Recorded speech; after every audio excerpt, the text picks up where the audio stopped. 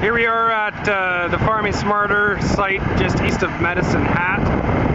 We've got Toby driving the tractor, well the auto steer's driving the tractor. And Mike Gretzinger is seeding out of the cone.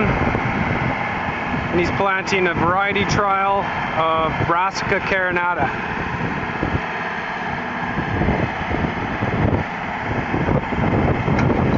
It's uh, May 8th.